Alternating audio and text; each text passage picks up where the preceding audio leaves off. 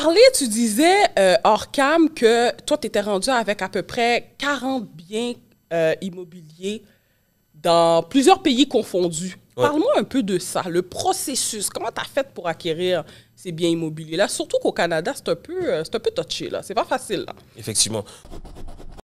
Donc, comme je l'ai dit, en fait, j'ai démarré, j'ai démarré très rapidement, j'ai démarré en France. Donc, j'ai démarré en France. Donc, j'ai acheté.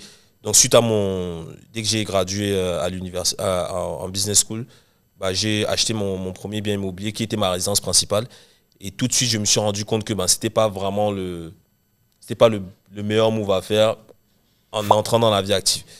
Donc j'ai commencé un peu à me renseigner mhm. et à voir en fait des personnes qui achetaient plusieurs propriétés. Bon, moi je suis toujours curieux, je me dis voilà, quand je vois quelque chose faire quelque chose d'anormal mais qui semble bien, je vais toujours en fait vers cette personne-là pour euh, essayer de comprendre. Donc, en l'occurrence, c'était mon, mon, collègue qui s'appelle euh, Gislain euh, qui m'expliquait voilà, tu peux avec ton salaire, tu peux investir en immobilier. Donc il m'a recommandé des livres. Donc j'ai commencé à acheter mes premières propriétés. Donc à l'époque, c'était des studios, 15 mhm. mètres carrés, 15, 20 mètres carrés en Ile-de-France. Puis je suis parti sur des appartements pour faire de la colocation. Après, j'ai très vite été capé. Donc dès que je suis arrivé à, peu près un million de patrimoine en France, j'ai été capé au niveau des banques. Est-ce que c'est le même principe qu'au Canada? Le système bancaire français Totalement différent. OK. C'est totalement différent. Par exemple, en France, les hypothèques, c'est c'est pas ici tu renouvelles pas ici tu renouvelles tous les 5 ans en France c'est t'empruntes à 1,70 sur 25 ans direct. OK. Par exemple. Mais euh, en France par exemple, t'as pas de tout ce qui est refinancement, marge de crédit, etc. C'est pas possible.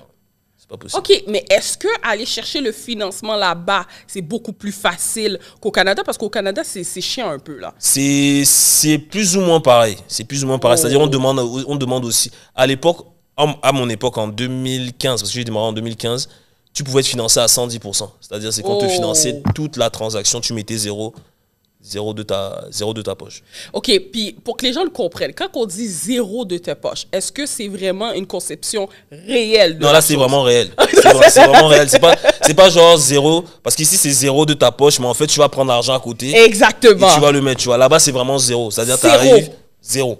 Shit. Et aussi, en France, par exemple, les frais de notaire, tu vois, ici, c'est 1500, 2000. Ouais. Là-bas, c'est 8-10% de frais de notaire. Donc en fait, la banque te demande un apport de 10% plus ou moins de frais de notaire pour acheter ton bien. Je comprends. Euh, de 10% pour acheter de la valeur du bien en fait, qui couvre les frais de notaire.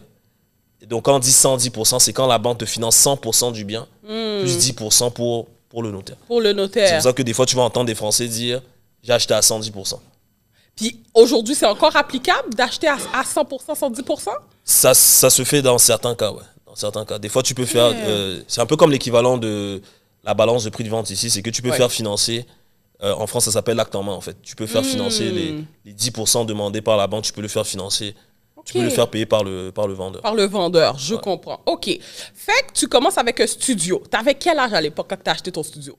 J'avais 24 24 ans. Ouais, j'allais sur mes 25 ans. ok, ok, super. Fait que tu as commencé avec ton studio en France.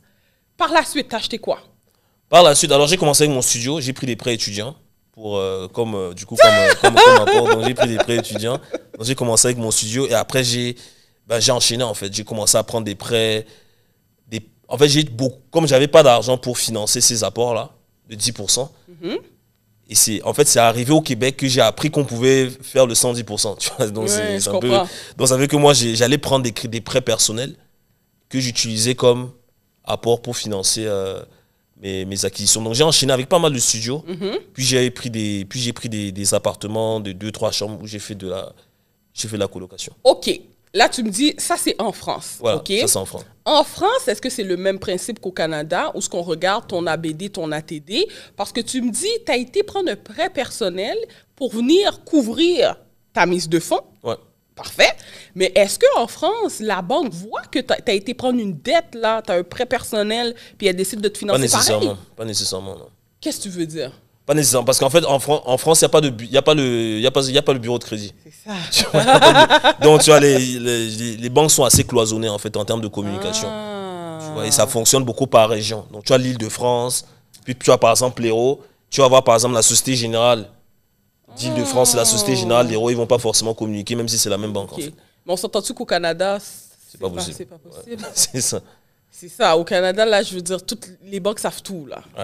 Je sais que euh, il y a peut-être il y a deux banques sais, que ton bureau de crédit apparaît pas quand tu achètes une propriété. Je sais pas si tu es au courant de Si, ça. si, tu as, certaines Mais- assurances. Même encore là, tu sais, Ouais. à un moment donné, après ça, comme Ça tu dépends de ça c'est- C'est clair. C'est ça. tu. OK, OK, parfait. Fait que là, tu fais ces achats-là, t'en as acheté combien en France? Une dizaine. Une dizaine. Après ça, tu dis, bon, je rentre au Canada? Après ça, ben, du coup, je, là, je me suis dit, ben, je vais aller plus, plus loin, en fait. Parce que j'ai, quand, tu sais, j'ai commencé à faire un peu de financement créatif en, en, en France et j'ai commencé à regarder des vidéos sur le, sur comment l'immobilier marche au Canada et j'avais vu, je crois que c'est une vidéo de, je sais plus si c'était Jacques Lépine ou Stéphanie Milo qui expliquait comment ils avaient acheté 100 portes et tout. Je me suis dit, mais comment c'est possible d'acheter 100 appartements Hmm. comme ça? Et après j'ai commencé à creuser, j'ai commencé un peu à me former à distance Mhm. en préparant mon, en préparant mon, mon immigration.